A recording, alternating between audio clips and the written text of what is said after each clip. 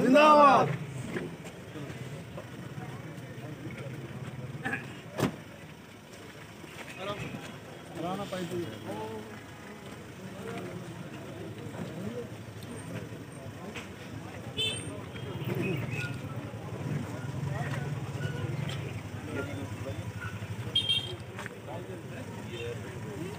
थोड़ा बंद हो जाए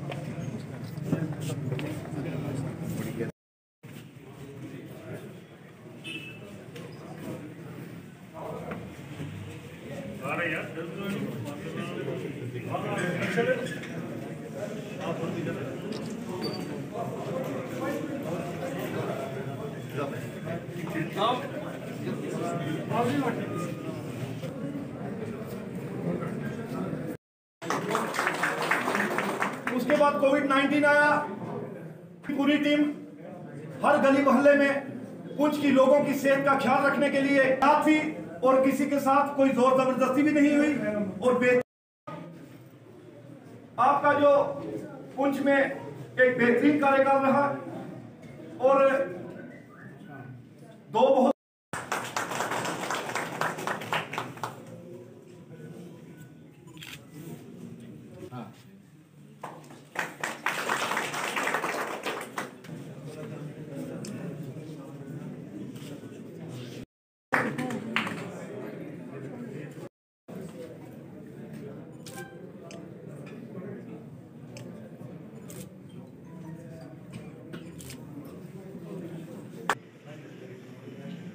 मेरे कुलीग्स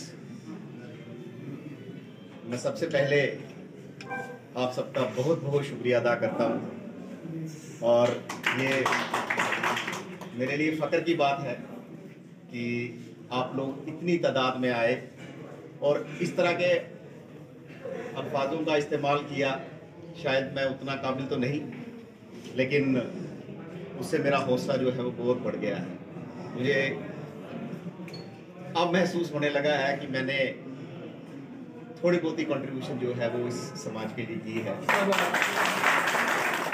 एक मुलाजिम के लिए, एक अफसर के लिए इससे बड़ी खुशनसीबी और कोई नहीं हो सकती कि जब लोग उसके काम की तारीफ़ करें, उसके सामने भी करें, उसके पीठ के पीछे भी करें। मैंने कोशिश की कि आप लोगों के को साथ लेके चलूँ।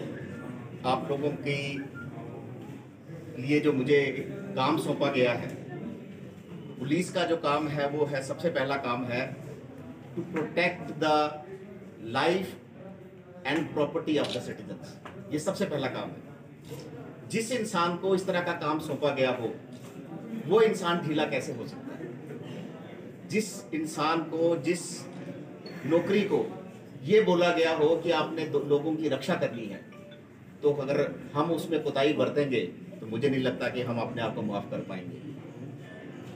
अगर मैं अपने दो साल के, सवा दो साल के जो टेन्योर है, उसको समराइज करूँ तो उसमें जो मेरी पहली प्रायोरिटी थी, सबसे पहला जो मेरा कर्तव्य जिसको आप मान सकते हैं, वो यही था कि मेरे होते हुए किसी के जान माल के नुकसान नहीं होना चाहिए।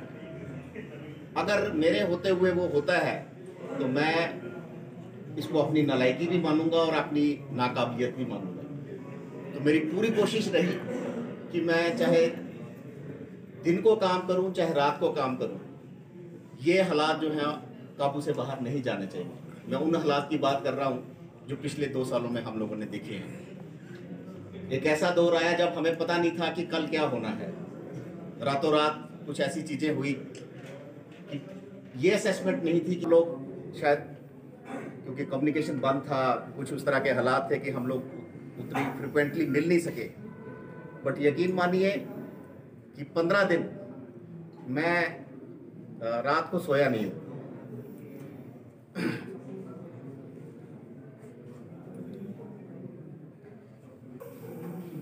लेकिन हाँ मैं अपने आप को बड़ा खुशनसीब मानता हूँ कि यहाँ सर्व करने के बाद मुझे वो कॉन्फिडेंस आया है। मुझमें वो काबिलियत सलाहियतें जो हैं वो और ज़्यादा आई हैं। और मैं अब दावे से कह सकता हूँ कि मैं किसी भी और बड़े चैलेंज का जो है वो अ, मुकाबला कर सकता हूँ।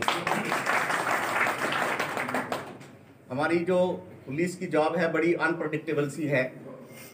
लेकिन इसके बावजूद भी एक ह्यूमन हार्ट जो होना है किसी भी इंसान के लिए वो बहुत ज़रूरी है।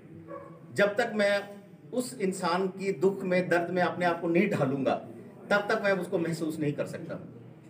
और वो मैंने यहाँ रह करके अपने आप को उस जगह पे अपने आप को रखा, ताकि मैं वो सोच सकूँ कि मेरा एक जो साथी है, वो कहीं मगनाड़ में है, कहीं लोरन में है, कहीं दूर दराज के इलाकों में है, और पूरा कम्युनिकेशन बंद है, राशन नहीं मिल रहा है, और सभी रिस्ट्रिक्शंस लगी हुई हैं। तो ये एक फ़र्ज़ बन जाता है इंसानियत के नाते भी कि हम कहीं ना कहीं उसको अप्रोच करें। तो थोड़ी बहुत ही जो कंट्रीब्यूशन हम लोग कर सकते थे, उस सोच के साथ हमने की है और इसमें ज़ाहिर है आप लोगों का बहुत बड़ा सहयोग है।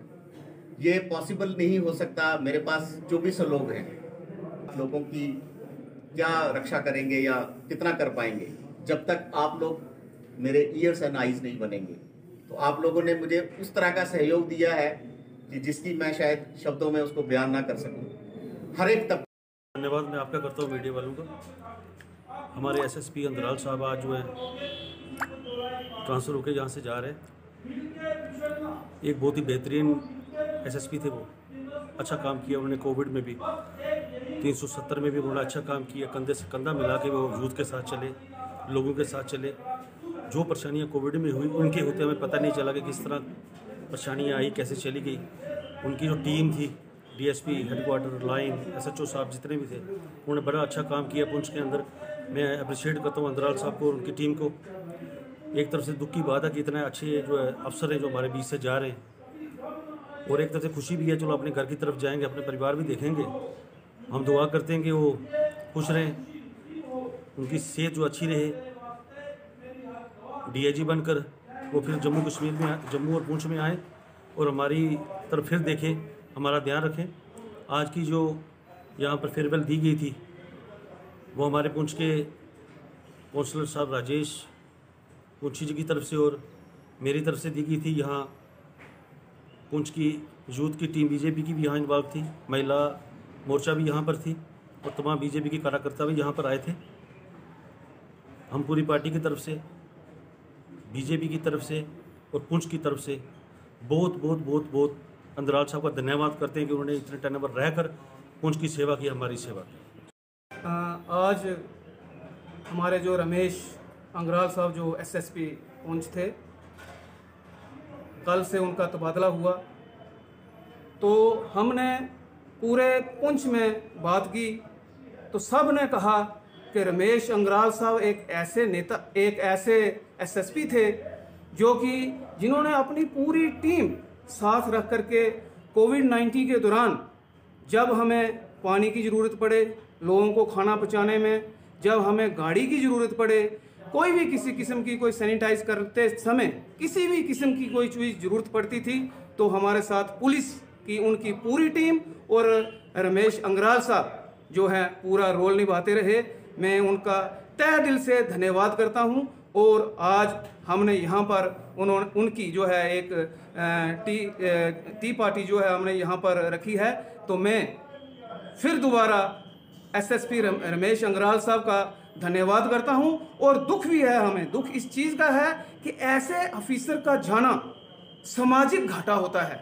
लेकिन वो अपनी जो छाप छोड़ के यहाँ पर गए हैं, हमारे एसएसपी ने भी यहाँ पर आए हैं। हम पूरा पूरा योगदान उनको भी करेंगे, जैसे इनको किया।